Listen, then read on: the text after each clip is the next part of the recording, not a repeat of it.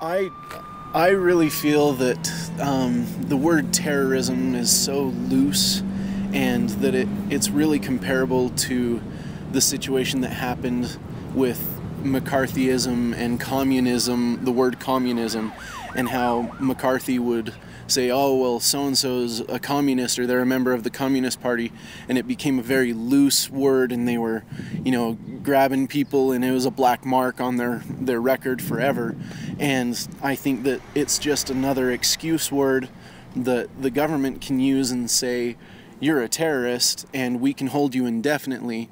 And they can. There's a law that says that if someone is a terrorist or a suspected terrorist, that they can be held without a trial indefinitely.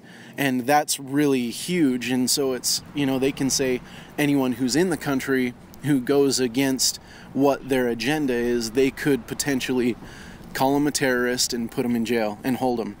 And as far as everything, you know, outside of the country, you know, they can control all this information. They're they're controlling all of it, and I think the biggest reason is whoever controls information has the power to distribute how that information is is distributed, and it informs the people, and they use it to keep people underinformed and in their control. That's kind of my take on it. So.